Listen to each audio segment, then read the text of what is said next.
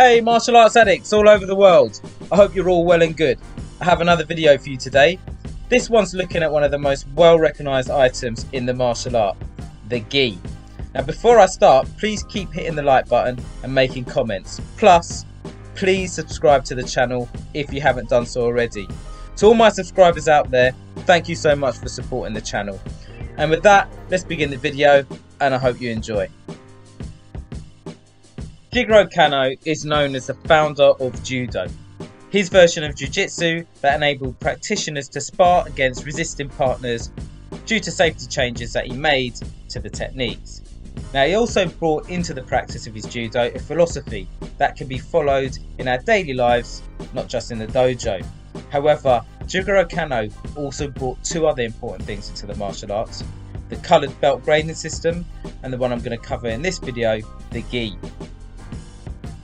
So, just in case you didn't know, the gi or kei kogi, meaning practice uniform, is a uniform commonly white that you see martial arts practitioners wearing, especially those from Japanese martial arts.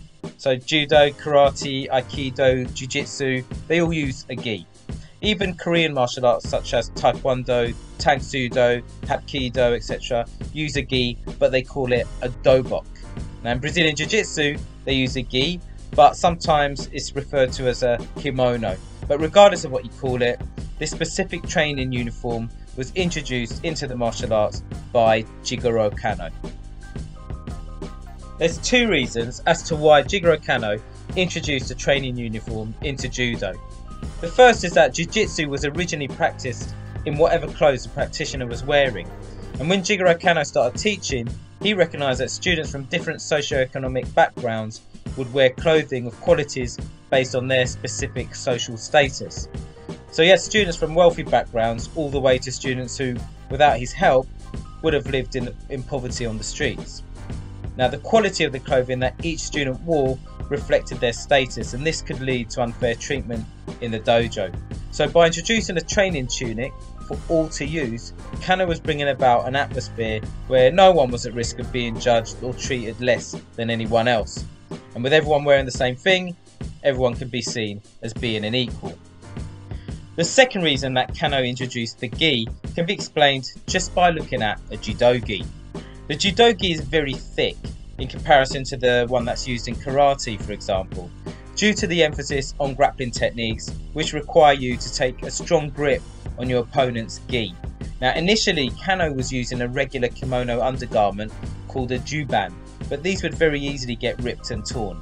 So he experimented by using a thicker material which was loose enough to allow for grips and free body movement of the practitioner until he was satisfied with what he'd developed. And at this point, his students therefore became the very first people to actually use a gi in training. Kano's first gis had short sleeves, which reached just up to the elbows. And you can see the, the short sleeves in this example of one of Kano's early gis. Now, in addition, the gi pants were shorter than those of today, usually reaching just below the knee. And even before that, the students would often just train with Japanese style underpants, similar to what sumo wrestlers wear, but thinner. Now Kano eventually had both the sleeves and the pants made longer, and there's two possible reasons for this. Firstly, it was probably seen as fine for men to wear a gi jacket and a pair of underwear. However, openly training women might have led Kano to introduce something to hide their modesty. And another reason behind longer sleeves and pants was probably based on what Kano's students were training on.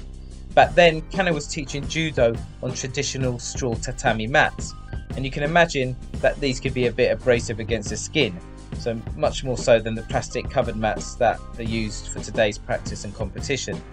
So in 1906, the gis were altered in order to introduce the long sleeve gi that we now have today in modern judo.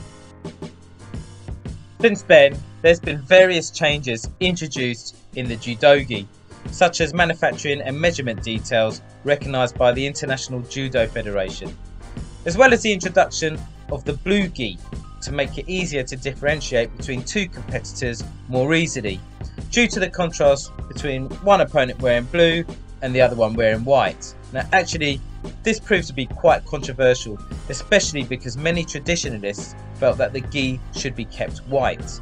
There were various reasons for this, such as a white gi reflecting the hygiene of the judoka, as you could tell if they had washed their gi before practice, thus offering their training partner or opponent a clean gi to take grips on. Now in competitions, one judoka used to wear an additional red belt or a, a red material on their belt to differentiate them from the opponent. But in 1986, a Dutch judoka called Anton Geesink, who was the first non-Japanese to win the Judo World Championship in 1961, came up with the idea of one competitor wearing a different colour gi in competition. Now, based on his idea, the blue gi was the colour chosen. However, a point on this is that white isn't actually the traditional colour in my opinion. In fact, the true traditional colour of the judogi would have been a, a cream or off-white colour due to the colour of the fabric itself. But bleaching of the fabric was introduced after this, which brought about the white gi. Nevertheless, the white gi is still seen as the official colour and that is why according to the International Judo Federation it's the only colour that a judoka can wear on the podium.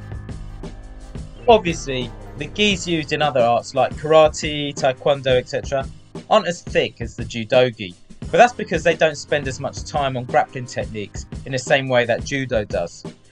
Yet the very idea of using these gis and the coloured belt grading system all come from Jigoro Kano.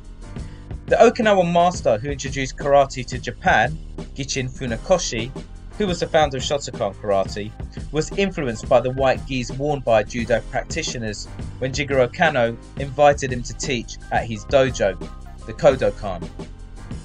I've even read that Jigoro Kano gave Gichin Funakoshi his very first white gi and also a black belt to wear. Now Gichin Funakoshi then carried this tradition into karate and soon the other karate masters would do the same. When karate was taught to the Koreans, they called it Tang Soo Do, the Korean translation for the original meaning of karate, which was way of the Chinese hand. When many of the Tang Soo Do schools developed into Taekwondo, they too carried the gi into their practice. Brazilian Jiu Jitsu, or BJJ, has done two very opposite things in regards to the gi. In one way, BJJ has made the gi something cool and almost like a fashion item, with some brands being not only expensive but quite difficult to buy. You also see a trend of sticking patches onto the BJJ gi, including the logos of sponsors etc. Now on the other hand, BJJ has made the gi something not so cool, with the growth of no-gi jiu-jitsu, now there's many practitioners who believe that training in a gi is outdated and this has led to no gi styles of BJJ such as Eddie Bravo's 10th Planet system. The question of who's right on this is one that I'm not going to discuss today, but there is support for both sides of the argument. Maybe Jiu-Jitsu does need to be practiced with a gi, or maybe we don't need the gi anymore. But when people have new ideas which challenge what we perceive as the norm, they often are met with some hostility. However, what's important is that if people are bringing about change because they firmly believe that it will benefit their students, then there's nothing wrong with that. I mean, after all, that is exactly why Jigoro Kano developed the gi in the first place. Hey martial arts addicts all over the world, I hope you enjoyed the video. Please, as always, keep hitting that like button and please leave your comments. Plus, if you haven't done so already, please subscribe to the channel and a big thank you goes out to those who already have. Until the next time, martial arts addicts all over the world, peace and love to all of you.